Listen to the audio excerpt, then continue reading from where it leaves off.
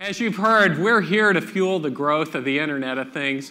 You know, whether we're talking about connected cars, wearables, or the industrial internet, connections are growing at a breakneck pace, and they will only accelerate, as you can see by this chart. It's a disruptive, exciting time. New business models with powerful change, you know, are afoot. And that's why we're here to talk to you. We at AT&T, you've heard a lot about the platforms we've developed. I'm going to talk about a few more. But you, you, the developer community, you're the catalyst for the growth. So you may not know the depth of our involvement in the Internet of Things. You know, we have, I, I, think Ralph mentioned 18 million AT&T connected devices. In the third quarter of 2014 alone, we added 1.3 million. So if there was construction in your neighborhood, then likely that heavy equipment, whether we're forklifts or, or bulldozers, are probably connected with AT&T. If you'd ordered anything over the holidays, and you probably did, uh, then the shipment of those, uh, those products probably were tracked by AT&T. This is just the tip of the iceberg as industrial applications explode. And you're the ones to make this happen. So we've stepped back and we've really listened to you. And, and you've been quite vocal, by the way. Uh, but we've listened to you and you've said, make development easier. Free us to focus on applications that solve a business challenge.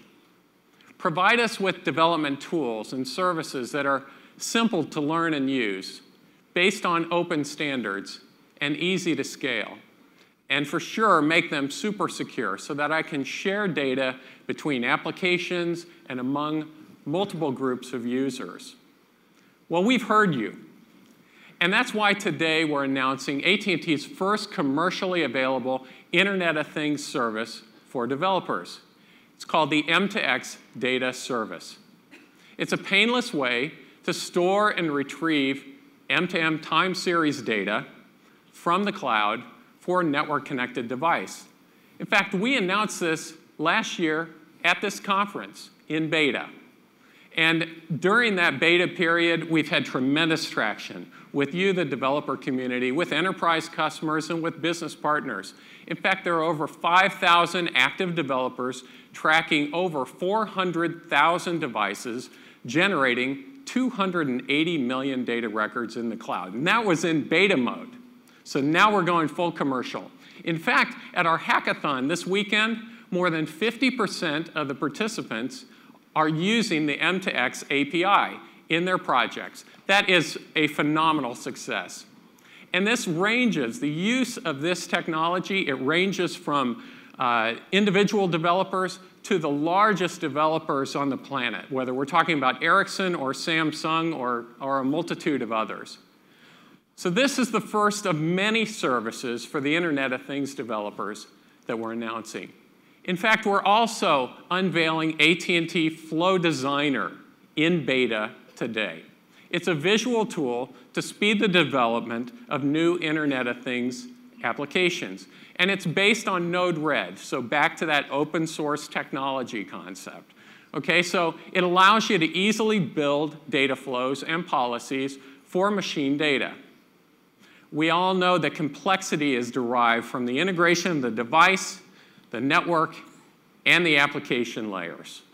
So if you take the combination of M2X Data Service plus AT&T Flow Designer, the goal here is to relieve you, the developers, of these hurdles without sacrificing scale or security. And this supports our goal, our common goal, of allowing the developers and their customers to focus on innovation. So speaking of which, I'd like to introduce two great M2X data service partners for AT&T who are leading innovators in this space. I'd like to welcome Mark Dunson from Emerson and Blake Moret from Rockwell Automation. Hey, Blake, how are you? Great. It's good to see you. See you. Mark, great to see you. See you Thank you for joining us. Uh, let's start with you, Mark. All right. I mean, there's uh, Mark leads retail solutions for Emerson.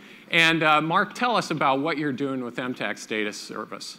Thanks, Steve. Uh, when looking at M2X, we value your global scale, security, and flexibility that M2X Data Service provides. In testing, we found a concept that would help national restaurant chains. Imagine we're a fast food restaurant with hundreds of locations, each with a pre-programmed microwave oven. Today, each oven has to be reprogrammed manually by having a technician upload software updates from a thumb drive to add a new menu item. It's a slow and expensive process, but important for growing sales. Let me show you. So, so this is a microwave. Doesn't look like the one in my kitchen, uh, but it has two menu items: flatbread and American sub. Okay, Correct. I got it. Now, with M2X data service, it's easier to push these software updates remotely. Today, Brad's doing it from the stage. The new menu items are updated to the ovens in near real time via a control panel that you see on the screen behind me. Oh, so, so now there are eight different menu items. I guess I'll take the barbecued pork. Yeah. Uh, You like the but but you, could- you could actually, so with the push of a button, you could download this to microwaves for restaurants all across the country rather than sending technicians. In thousands of locations, yes. Fantastic. The ability to quickly update this really allows the acceleration of these new menu items by about 75%. Wow. And this really, this microwave oven example really represents just one of many use cases that we're developing for connected kitchen applications. The connected kitchen. Well, that's great, Mark. Thanks for sharing your concept. really good. And thanks to Emerson for being such a great partner to AT&T. Really great. Uh, let's check out what Rockwell's up to. Blake Moret. Uh, Blake, thanks for coming and joining us today. Blake heads up control products and solutions at Rockwell Automation. Tell us what you're doing to M2X uh, innovation. Happy to do it, Steve. So at Rockwell Automation, we help companies improve the productivity and the competitiveness of their manufacturing facilities and their equipment. We're working with AT&T to offer our customers highly secure LTE and also working with the AT&T Foundry to capture diagnostic data in a reliable and a secure manner, regardless of whether these are highly concentrated assets on the plant floor or highly distributed across geography. Let me show you. I have a drive and a motor that simulates one used by water utilities at a pumping station. This motor is being monitored for RPMs, voltage, current, and power.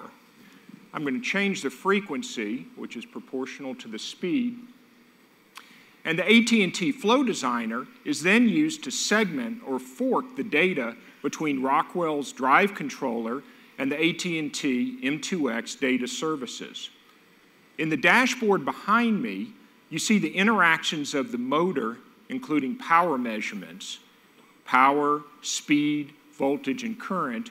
This full range of data is accessible by Rockwell Automation. Oh, I see. So, so Rockwell can see all four of these, speed, current, power, voltage, in the upper chart there. Okay, Exactly. it. Exactly. Now we're going to switch the view to show data which is available to the water utility. In this demo, we've decided to make visible the RPMs, the revolutions per minute, because that's most important to their actual process.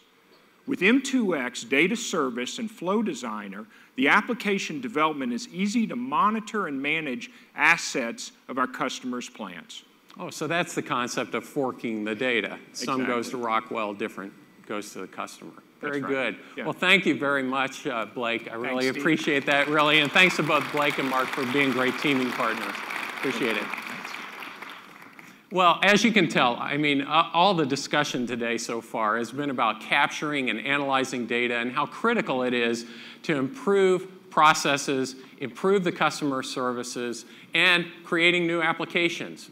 So if you take that Rockwell example, you saw the ability to determine which data is shared with whom.